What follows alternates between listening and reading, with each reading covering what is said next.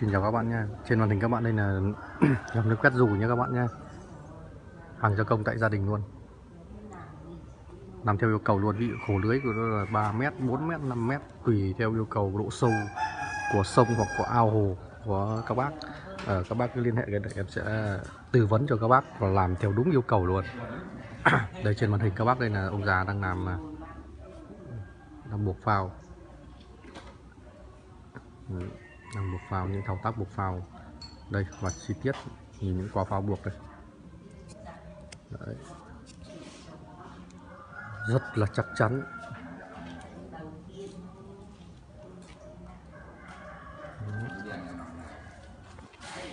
Hàng lưới đây. Cho các bác xem bắt lưới luôn. Vào phần dưới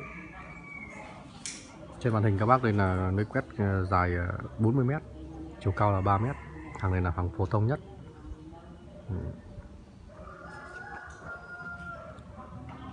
ngoài ra còn làm các ờ, loại ờ, tráng buông cá làm các uh, chuồng hay là lồng nuôi cá nước ngọt nước mặn nước lợ. Các bác nhé. Liên hệ với em qua số điện thoại là 0938 336 470 kết bạn Zalo Facebook em sẽ gửi video cho các bác và tư vấn chi tiết trước khi à, các bác đặt làm hàng đảm bảo và chất lượng cam kết bảo hành nên là không sợ bất kỳ một ờ, lỗi kỹ thuật hay cái gì cả. Đấy, em quay thì không được uh, chi tiết cho lắm chi tiết rồi cái chỗ là nó, nó máy hơi bị rung Đấy, cầm cầm tay mà.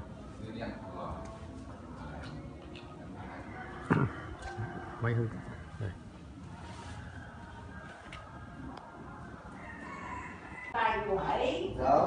giới thiệu các bác đây là lưới cắt dù nha các bác nhé lưới cắt dù. Chiều dài 40 mét.